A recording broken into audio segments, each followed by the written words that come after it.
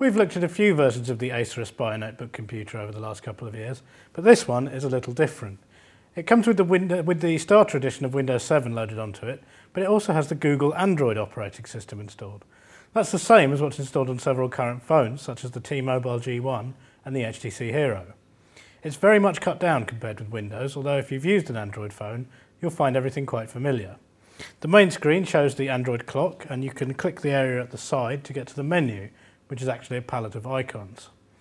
Acer has missed a bit of a trick by making the screen a standard model rather than a touch-sensitive one. That would have been a good way to control it, whereas currently you're stuck with the keyboard and the irritatingly small trackpad.